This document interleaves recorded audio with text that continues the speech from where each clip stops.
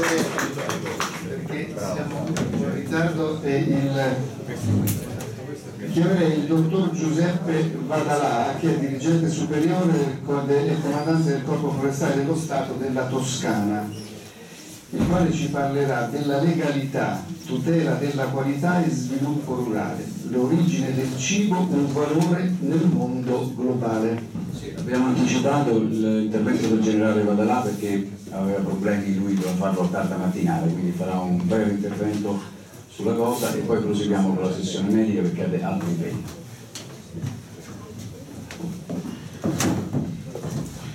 Buongiorno, buongiorno a tutti, saluto Federico Fazzoni veramente tanto eh, calorosamente, affettuosamente perché col Corpo Forestale dello Stato, quando ancora questi temi, forse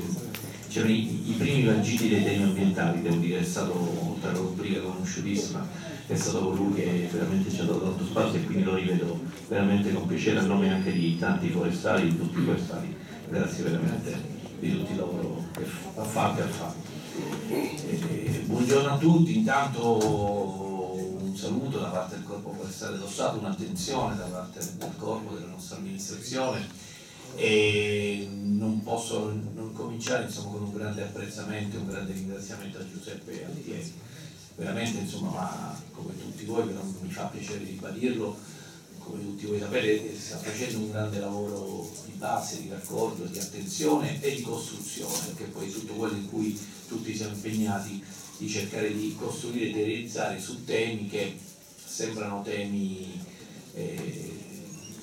oggi eh, meno conosciuti o addirittura a volte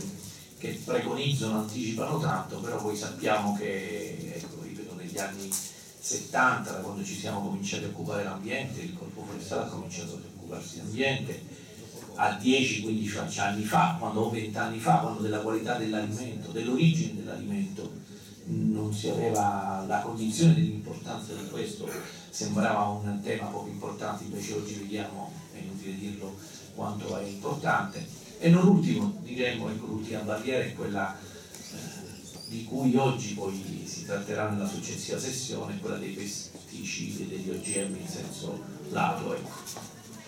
Io scusate in anticipo l'intervento che poi l'ispettore Baiocchi, che è il nostro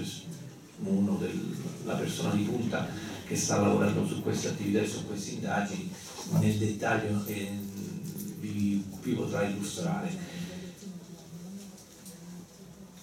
E la questione dell'origine dell'alimento, che, era, che è questo tema che, che, è centrale, che è un tema centrale non solo da un punto di vista economico, di qualità e quindi di,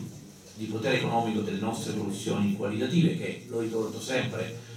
nel 2000, l'anno scorso hanno prodotto 35 miliardi di esportazioni in toto tutto l'agroalimentare, quindi è una quota maggiore però una quota molto importante, però a questa quota aggiungiamo eh, la funzione importante che l'agricoltura nazionale ha sul nostro territorio, che è quella eh, di mantenere una fetta economica importante, quindi una fetta di persone in territori rurali e montani dove ovviamente c'è più difficoltà. Per l'Italia questo è un argomento assolutamente strategico il più del 70% del territorio italiano è collinaro montano, più circa il 70% però delle persone, o tutti noi, molte volte risiediamo nelle zone urbane, il, una, circa il 60% della, delle foreste nazionali sono sotto quota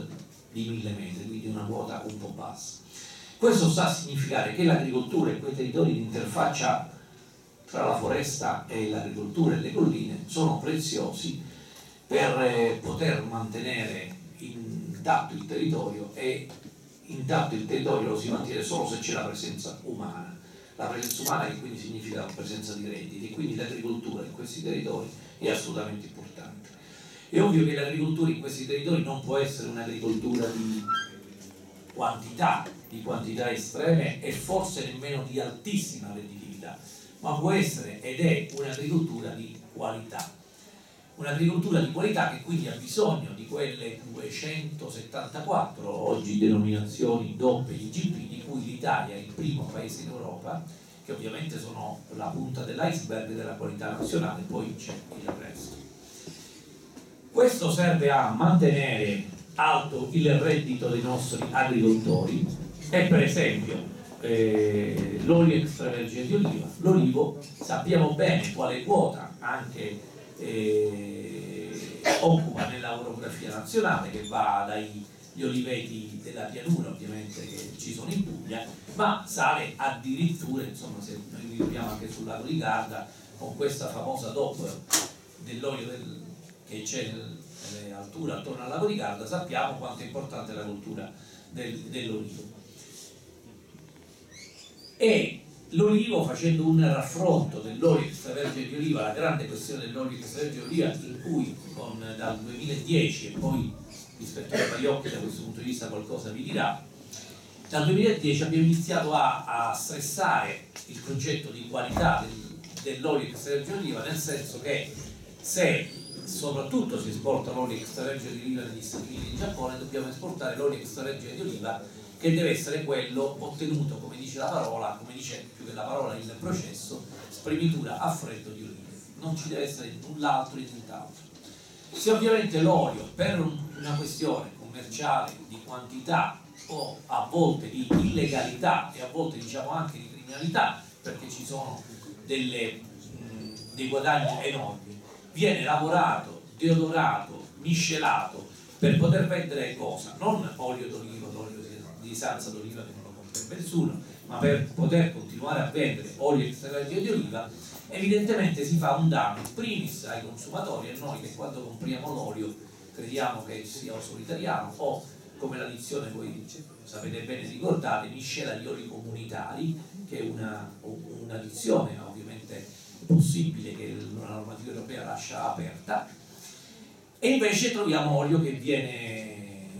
dai paesi anche delle, delle, del Nord Africa, viene oli che non hanno anche ovviamente quella qualità, ma vengono lavorati per tirare fuori che cosa? Un olio da cui si devono tirare fuori tutti gli insapori o, l'olio cosiddetto rancido, tutti, eh, le, tutti gli odori che non vanno bene, per poi dare un olio a volte che è molto piatto, a volte viene anche insaporito. Tutto questo quali sono le ripercussioni? Ripeto, uno sulla nostra fede, ovviamente di andare a comprare, di spendere per un olio che ha una certa qualità. L'altra questione è quella che si va a fare un danno a chi? Un danno a chi per produrre l'olio spremitura a freddo minimo si parte dai 6, 7, 8, 9, 10 euro in Toscana, eh, 6-7 euro forse nella Sabina, forse si può trovare a 5 euro in Puglia e forse a 5 euro in Sicilia, nella zona del Belice, degli oli che hanno una spremitura a freddo effettivamente. Invece troviamo gli oli a 3 euro anche nei supermercati, come sappiamo, sempre oli di oliva, e il danno questo quindi è agli agricoltori nazionali che non riescono a dare una redditività a quel loro prodotto e quindi a poter eh, evidentemente dare un valore al, al, cibo e al loro lavoro, che è la grande questione, direi mondiale, che il cibo ha un, pro, ha un suo valore, un suo valore che non è quindi solo mercantile, ma è anche un valore territoriale di quello che cosa può significare per la nostra agricoltura, che non è l'agricoltura dei paesi del nord Europa. In questo senso vorrei introdurre un'altra oh, considerazione importante. L'Italia, nonostante tutto, diremmo, nonostante tutto, ma come anche l'intervento di prima sottolineava sul valore della biodiversità e come insomma il dottor Fazzuoli per anni ci ha ricordato e illustrato molto bene, è un paese che da un punto di vista di biodiversità e agrobiodiversità, proprio per la conformazione a questa grande ricchezza che prima si diceva, ha una grande varietà ma l'Italia ha il vanto che in Europa comunque, ripeto, nonostante tutto siamo quelli che stiamo tracciando la strada. Stiamo tracciando la strada perché siamo stati il primo paese in Europa nel 2011 a realizzare e a votare il Parlamento nazionale una legge sulla tutela della qualità del prodotto, primo paese in Europa. Siamo il paese in Europa che, per dire un altro fatto importante, ha costruito eh, e ha promosso la rete Interpol sulla lotta alla contraffazione dei prodotti agroalimentari. Siamo il paese che ha più spinto perché si realizzasse una norma che si chiama ex ufficio, che è una norma banale ma importante, che è quella che ogni contraffazione di prodotto in ogni paese d'Europa, di qualunque paese d'Europa, chiunque l'abbia fatto, può essere perseguito. Prima, se il parmigiano in Germania veniva trovato il famoso parmesan, c'è questo nome fasullo con cui si indicava un nome di un formaggio che non era parmigiano,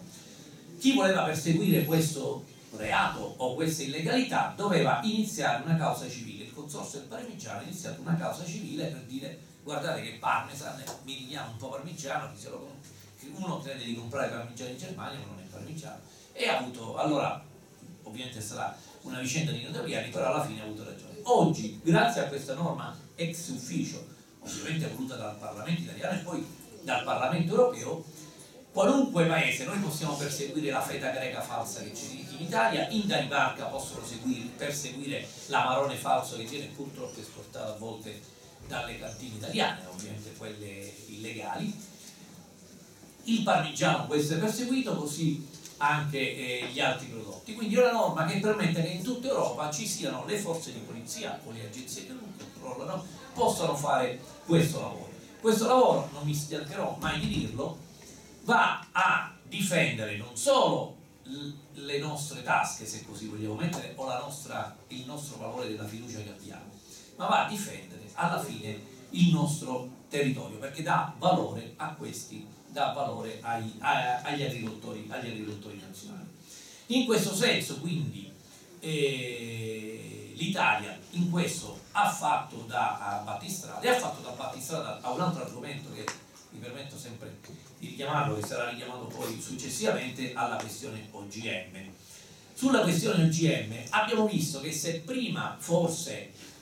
abbiamo avuto grandi, grandi problemi insomma, sulla questione OGM perché al di là, e non parlo ovviamente da un punto di vista scientifico, dei benefici che, o dei malefici, insomma comunque delle questioni positive o negative che possono portare, però sicuramente le culture OGM sicuramente eh, cosa rischiano di fare? Rischiano di inquinare tutta questa quantità di agrobiodiversità nazionale, quindi sia il biologico ovviamente, ma anche non il biologico, e quindi quello che alla fine è stata la posizione che l'Italia ha assunto, il ministro Martina ha assunto, è che quello che ogni paese si autodetermini per quanto riguarda la questione degli OGM. Evidentemente ci possono essere assetti e culture, ripeto, al di là delle questioni scientifiche di OGM, eh, paesi che possono decidere loro, una loro assetto di agricoltura, ma in un'Europa che uniforme deve essere, però deve essere indubbiamente un'Europa uniforme con delle regole generali che però valorizzi le diversità e quindi le agrobiodiversità, per l'Italia che ha una agricoltura eh, improntata alla qualità e non alla quantità, la non scelta degli OGM, quindi poter scegliere di evidentemente insomma, di, eh, non, di non seminare OGM significa evidentemente poter difendere questa qualità del proprio alimento, difendere un assetto strategico dell'economia nazionale, difendere un assetto strategico del territorio nazionale. Ora se penso a tutti gli anni e anni di eh, convegni, dibattiti, iniziative, di cui insomma ovviamente consessi come questi, e, devo dire che il professor Altieri è stato uno dei promotori, quanto è servito, diciamo che c'è stato tanto lavoro, ci vuole tanto lavoro e ci vorrà tanto lavoro sicuramente, però questo è servito per costruire una posizione, una posizione italiana che l'Italia è riuscita a far capire anche in Europa. Perché la questione ovviamente che ci troviamo ora è tra una eh, agricoltura del nord Europa e un'agricoltura del sud Europa che sicuramente è diversa. Per fare un altro esempio anche eh, che ha una sua importanza sul territorio, e c'era stato, c'è stato un bando, eh, un bando, una direttiva europea sulla questione di non abbruciare più nessun residuo vegetale, che da un punto di vista direi strettamente logico-tecnico, ovviamente se si riuscisse a non bruciare nulla, ovviamente parliamo di vegetazione, eh, di vegetazione di residui vegetali che vengono dalle lavorazioni agricole, sicuramente sarebbe positivo perché non si produce anidride carbonica quello che sappiamo. E per l'agricoltura del sud Europa una uh, misura di questo tipo sarebbe stata veramente eh, difficile da sostenere perché c'è una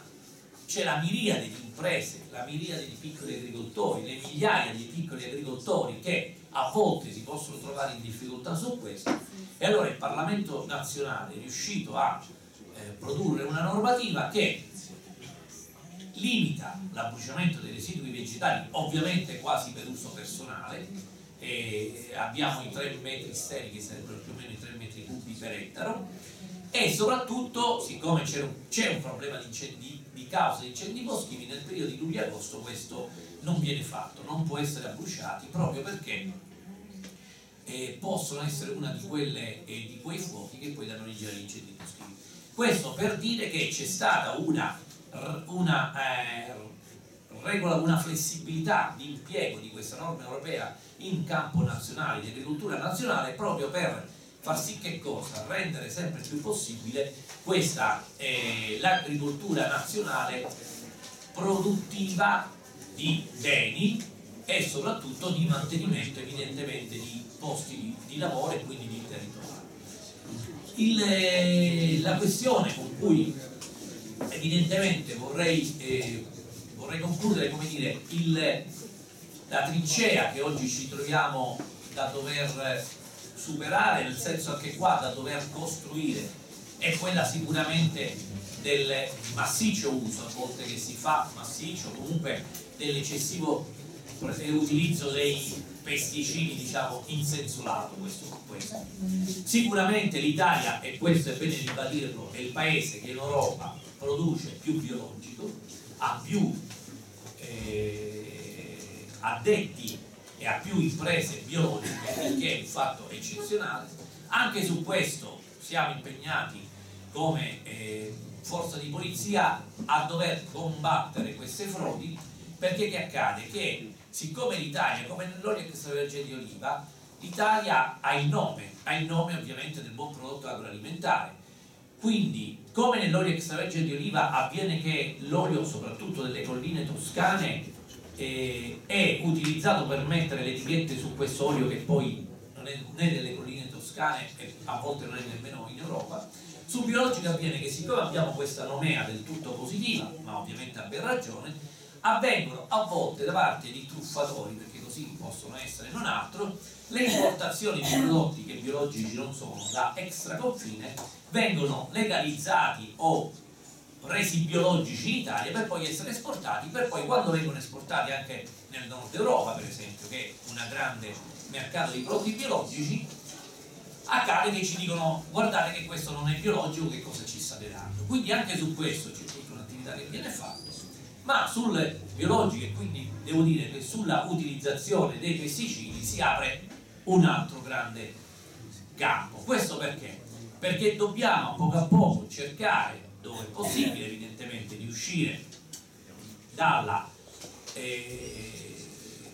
dal, dal settore strettamente biologico che va bene, ma cercare anche nelle altre produzioni o ovviamente di lavorare molto, e qua il professor Altieri in questo è un esperto, oltre che un maestro, sulla eh, sulla lotta integrale in senso lato su quello che può venire o comunque di sempre più poter dar campo a quello che è il, che è il, eh, il biologico. Concludo con una richiamo, e mi piace farlo anche in questa occasione, una, una, una frase, un pensiero, più che una frase, un pensiero di, di Keynes, insomma, dell'economista eh, famoso anche, ma eh, che eh, quello che stupisce, che mi stupisce ancora, è che l'ha detta nel, nel 1933, quando ancora diciamo che non sapevamo neanche che era la globalizzazione, ma nemmeno che cosa erano le emergenze ambientali. Allora lui nel 1933, quando evidentemente aveva visto che comunque questo commercio globale di tutto poteva forse dare adito a qualche problema, lui allora, più o meno cerco di riportarlo, eh, disse così, va bene rendere eh, cosmopoliti o rendere globalizzati, se così vogliamo dire, tutta una serie di attività come sono la scienza, la conoscenza, i viaggi. Però, non è de- però tutto il resto dobbiamo renderlo globalizzato solo se questo, lui diceva, usava due parole, utilmente e convenientemente. E renderlo globalizzato, perché altrimenti, diceva allora lui nel 1933, c'è il rischio che eh, c'è qualche volta la finanza globale può portare dei problemi e allora noi qualche volta, diceva lui nel 1933, dobbiamo anche prendere atto che forse la finanza locale, quindi una finanza locale può essere anche un po' più utile di quella globale. Lui nel 1933 aveva evidentemente già un po' visto quello che potevano essere le ripercussioni di un commercio a tutto tondo che sicuramente ha portato anche delle, eh, un salto economico in aree che prima erano povere che però evidentemente portato fino all'estremo o quantomeno lasciato fino all'estremo senza regole, la finanza a volte può causare i problemi che ovviamente non richiamo che ci sono stati, ma se noi pensiamo a quello che dietro all'alimento, evidentemente un concetto come questo usato dietro l'alimento ci può essere, capiamo che evidentemente se noi sganciamo la materia prima agroalimentare dalla sua indicazione, cioè non pretendiamo di averla in etichetta come oggi si sta cercando di fare, sganciamo il nostro cibo, il valore del cibo, quello che giornalmente mangiamo e quindi il nostro essere, lo sganciamo dalla territorialità, lo sganciamo sicuramente dalla, dalla sicurezza e lo sganciamo anche dalla territorialità. Cioè se, se noi accettiamo che un cibo può essere come un'automobile, a noi l'automobile o i capi di abbigliamento che, con cui vestiamo ci interessa poco. Se l'acciaio viene estratto in Sudafrica o il cotone viene estratto in America o il cotone nazionale. Ma sul cibo, se noi applichiamo lo stesso sistema, la ripercussione saranno uno quello sulla nostra salute, perché la materia prima agroalimentare giornalmente arrivano le navi graniere piene di grano, ma giornalmente arrivano le navi oliere piene di olio che poi vanno a, a, dare a produrre l'olio extravergine di oliva che prima dicevamo, ma toscano, ma soprattutto se noi sganciamo la materia prima agroalimentare dal suo territorio, facciamo sì che si può produrre cibo in qualunque parte del territorio a qualunque prezzo possibile, lasciando, eh, non considerando questa importanza dell'agricoltura nazionale, che non è solo nazionale e internazionale, che non è solo importante da un punto di vista della cultura contadina, che di per sé sappiamo bene quanta importanza ha di valore, ma è importante per quella fetta, per queste parti di territorio, che non è solo l'Italia, badate bene. Non dobbiamo solo andare alla ricerca del made in Italy, ma del made in, perché paesi come fossero la Cina, il Cile, l'Equatore o altri paesi, hanno paesi dove c'è l'interesse che le loro produzioni devono essere valorizzate. Devono essere valorizzate per una politica che è quella dello sviluppo rurale, che tanto l'Europa ha fatto anni di politica dello sviluppo rurale, che è quello che noi dobbiamo cercare di portare nei paesi terzi per far sì che questi paesi a poco a poco, per quanto riguarda l'alimentazione e non dimentichiamo l'acqua, siano sganciati da dover dipendere da altri, ma quanto più siano artefici del loro territorio e del loro destino. Se io ho i semi con cui vicino posso produrre, produco ho un bene e addirittura questo bene in qualunque parte del territorio lo riesco a valorizzare, pensiamo al caffè, al cacao, a tante cose, vedete come questo significa reddito, significa vita. Non ultimo, la questione dell'acqua. L'acqua è un po' in sordina anche se perché noi diamo per scontato che l'acqua è un bene comune, un bene di tutti e quasi non dovrebbe avere prezzo e valore. Dico solo una cosa, è avvenuto insomma, questo fatto indubbiamente abnorme, poi l'uscita insomma sono siciliano di origine, anche messinese di origine, in cui insomma, la città di Messina è rimasta per 6-7 giorni senza acqua, quindi 250.000 abitanti, ma perché c'è stata questa frana che ha troncato una coltura. Voglio solo dire che al di là di questo e del dissesto idrogeologico che ha colpito quella zona, là vicino, oh, Messina andata a prendere l'acqua in provincia di Catania, in un'altra provincia, là vicino la sorgente dell'Alcantara, che penso molti conoscono, è di proprietà di una multinazionale francese, ma non da ora, è di proprietà da molti molti anni. Sull'acqua dobbiamo anche dire, fare sempre molta attenzione che anche l'acqua deve essere un bene quanto più comune e quanto più collettivo possibile per la salvaguardia di tutti. Ringrazio veramente ancora il professor Altieri di questa bella presentazione e tutti ringrazio il professor Fancione. Grazie.